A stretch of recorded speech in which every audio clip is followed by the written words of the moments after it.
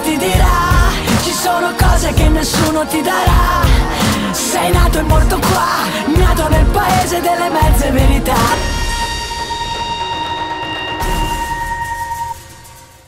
Ed eccoci quotidianamente qui impegnati con Sportello Reclami con un nuovo argomento che poi in realtà tanto nuovo non è a dir la verità perché siamo tornati ancora in via Provenza dove la situazione non è migliorata, anzi vediamola insieme. Ciao a tutti amici e amiche, benvenuti a questo nuovo appuntamento con Sportello Reclami, un saluto da parte di Massimo Gianni. In eh, zona Saione ci siamo stati svariate volte, oggi torniamo in via Provenza dove il degrado sembra essere aumentato. Vediamo. Allora, buonasera, siamo di nuovo eh, nella zona di Via Provenza, le segnalazioni continuano ad arrivare, è circa 6-7 mesi che ci siamo venuti, la situazione qui sta veramente degenerando. E dopo la segnalazione che era stata fatta per il, continuo ritrovamento di siringhe e le continui giri di loschi che c'erano la sera, erano state messe delle transenne, transenne che sono state tolte, sono qui alle nostre spalle e il pezzo di terra praticamente oggetto dei problemi è di libero accesso a tutti. Libero accesso a tutti quindi significa che in terra ci sono siringhe sparse ovunque, ma non basta perché ultimamente addirittura c'è stato messo un letto, un letto eh, che serve a una persona che ci dorme, eh, perché sono già diversi giorni che mh, mm, veniamo in, nella zona per vedere la situazione e il problema è che qui imperterriti continuano a buttare siringhe, continuano ad esserci giri giri di droga, di spaccio, ci domandiamo una cosa, ma per tenere sotto controllo questa situazione, ma due pattuglie a sorpresa ogni tanto per verificare quello che succede, oppure eh, lanciamo un'altra idea, chiudere direttamente questo spit mucchio di terra che è una vergogna per la zona di Saione, è veramente un'indecenza, eh, cioè che nessuno venga a vedere, siamo sempre noi che si viene a vedere, tutti non vedono, hanno tutti gli occhi chiusi, eppure questo muro che abbiamo a lato è il muro della manutenzione, quindi ci lavora personale del comune e non penso che nessuno abbia mai parcheggiato la macchina qua dietro. E già, una sbirciatina dietro il muro per vedere cosa succede no, eh?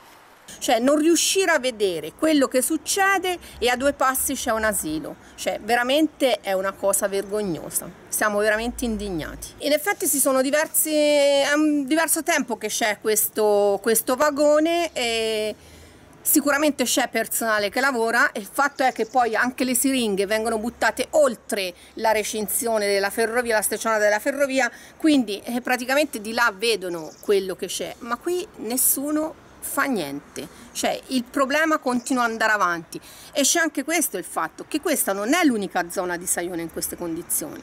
Saione è nel degrado totale perché se ci spostiamo di poco troveremo altre situazioni uguali. E c'è anche questo letto che testimonia il bivacco notturno in via Provenza.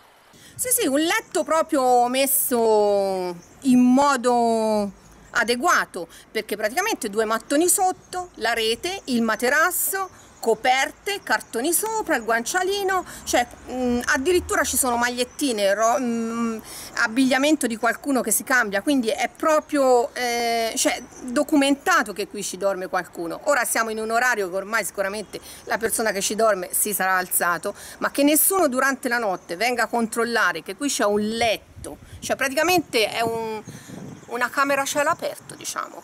C'è un letto e nessuno, da, noi sono 15 giorni che veniamo qui a vedere, che nessuno abbia fatto rimuovere quello che c'è qui dietro le nostre spalle. E andrebbe pulito. Sì, andrebbe pulito e anche controllato perché come hanno testimoniato le nostre immagini, la notte c'è chi ci dorme. Ci vorrebbe un controllo più accurato anche di notte, perché il giorno è logico, non è che si fanno vedere, signore, è la sera che addirittura queste siringhe si trovano vicino a cassonetti, eh, insomma eh, non è una cosa piacevole. Poi che vuole che le dica anche signora, noi a questo punto qui eh, si sta con le mani in mano perché purtroppo è trascurata la zona, ecco come le posso dire. E la sera qui c'è chi ha paura ad uscire di casa. In effetti dopo, dopo una certa ora no, non è che si esce perché appunto non si sa, insomma una zona come ripeto molto trascurata e si rimane in casa la sera. Noi abbiamo quest'altra uscita anche di qui, oltre che al cancello automatico, anche di qui, però signora è così la situazione purtroppo. Ah, è tanto tempo che è così la situazione, sicché penso che dovrebbero, lo dovrebbero sapere anche su al comune, questi che, che, che, dovrebbero pulire le strade, insomma sono loro che ci devono pensare. Ecco. Da via Provenza per il momento è tutto, linea allo studio.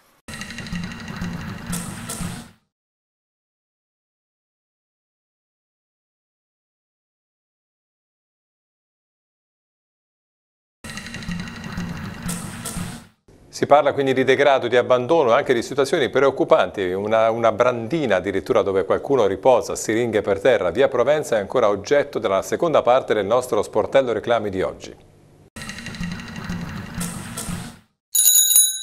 Eccoci alla seconda parte, nella prima ci siamo occupati di via Provenza, ci eravamo già stati, la situazione di degrado aumenta, adesso ci siamo leggermente spostati e siamo nel sottopasso di via Arno dove possiamo immaginarcelo ma lo vedrete dalle immagini non mancano le magagne sì questa zona è mal frequentata sicuramente eh, come magari altre zone della città non, non, non ne dubito però questa sembra anche un po' trascurata. Questo sottopasso è piuttosto brutto già di suo, è trascurato anche e c'è un dislivello addirittura, è stato così rattoppato un pochino, ma insomma non è stato fatto un lavoro piuttosto strutturato.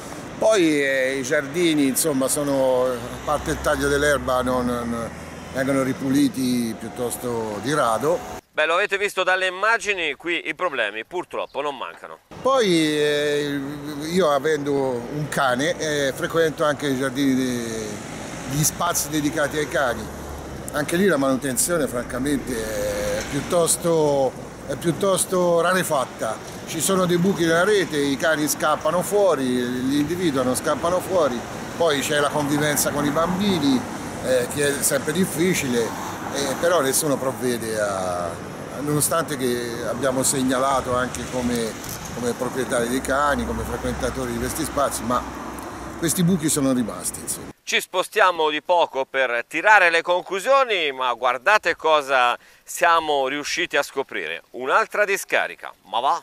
Ci siamo spostati dal sottopasso di Via Arno che le immagini rendono benissimo il degrado in cui versa, sono oltre tre anni che la condizione è quella, cioè praticamente smottamenti da tutte le parti, ma la ciliegina della torta per chiudere il tutto nella zona di Saione siamo all'entrata del parco Arno dalla parte di Via Mincio cosa abbiamo trovato ai bidoni? Un cassettone cioè immancabilmente ogni giorno la stessa situazione. Rifiuti abbandonati ai bidoni. Cioè una cosa veramente indecente. Abbiamo fatto l'appello per, per, i centri eh, di raccolta. Eh, invitiamo la gente anche noi con il nostro profilo Facebook a non abbandonare i rifiuti. Anche se uno ieri sera commentando i rifiuti lasciati via, ai bastioni qualche domenica mattina mi ha detto eh, ma sono d'accordo con Aisa. Chiamano e gli dicono che lasciano direttamente a bidoni. Non è questo il sistema. Il sistema è di portare a centri di raccolta e smettere di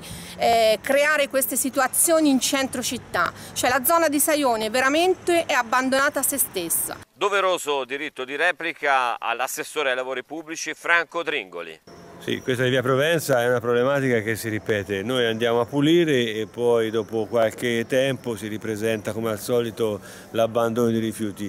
Quindi a noi a questo punto abbiamo deciso di, ovviamente di andare a fare l'ennesimo intervento di ripulitura eh, asportando anche chiaramente i car carrelli che vengono lì abbandonati in quella zona, così come ovviamente anche la ripulitura dalle erbe, la ripulitura da questi eh, letti improvvisati eh, la manutenzione non c'entra niente perché si passa da, da, via Provenza, quindi non è un'area che è visibile dalla, dalla, dalla, dal comune, ma appunto è visibile ovviamente passando da via Provenza. Quello che sarà necessario è anche una transenatura solida era già stata fatta ma è stata ovviamente rimossa, quindi una transenatura più solida per chiudere questo, questo fondo cieco e evitare appunto l'abbandono, lasciando però la zona a parcheggio perché alcuni cittadini servono ovviamente parcheggi in quella zona. Colgo l'occasione per rinnovare nuovamente il, il problema dell'abbandono di, di, rifiuti perché sia fuori da cassonetti che ovviamente nelle varie aree che siano eh, soprattutto pubbliche, eh, mi viene in mente anche sempre la zona di, di Pratacci, eh, eh, questo comporta dei costi notevoli per l'amministrazione che in un anno si quantificano in, in oltre 200 mila euro e questo è, su questo dovremo usare adesso una mano sempre più forte, abbiamo istituito anche gli ispettori ambientali.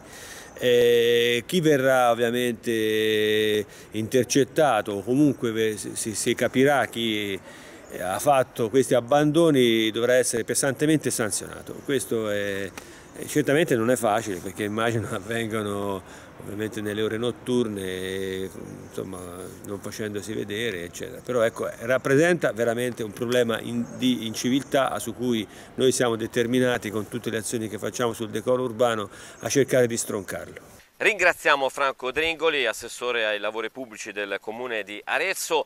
Per la verità dobbiamo aggiungere una cosa che eh, abbiamo saputo subito dopo aver registrato questa puntata ci ha telefonato dopo l'intervista eh, l'assessore Franco Dringoli e ci ha comunicato che in via Provenza è stato ripulito tutto. Quindi siamo riusciti a sensibilizzare l'amministrazione comunale su questo argomento e quindi almeno in questa puntata abbiamo centrato l'obiettivo. Sottopasso di Viarno, via Provenza, siamo in questa zona per segnalare appunto quello che ci è stato da voi segnalato eh, in, queste, in, queste, mail che stiamo ricevendo. Sportello reclami chiocciolateletrurria.it, questo è l'indirizzo di posta elettronica, il nostro riferimento principale, oppure potete entrare su Facebook slash sportello reclami, ci trovate subito e lasciare lì il vostro messaggio. Naturalmente torneremo ancora con altri argomenti, grazie, a domani e buon proseguimento su Teletruria. Cose che nessuno ti dirà, ci sono cose che nessuno ti darà. In Italia ci sono cose che nessuno ti dirà, ci sono cose che nessuno ti darà. Sei nato e morto qua, nato nel paese delle mezze verità.